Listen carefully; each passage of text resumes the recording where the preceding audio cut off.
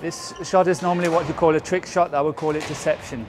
The better you are, of course, the better you can play the shot. You're trying to sort of trick your opponent to believe that it's becoming a cross-court shot.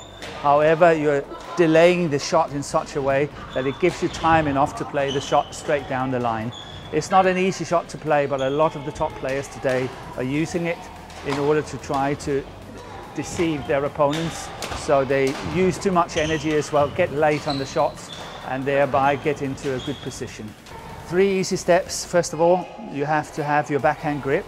Secondly, you have to sort of let your opponent believe that the shot you're going to play is across court to the front of the court. But as, just as when you are about to connect with the shuttle, you take your racket back and you flick it straight down the line. And you can do that with a normal flick or you can do it with a slide, uh, slide slice into it. It's all up to you. It's all about finding your own way of doing it.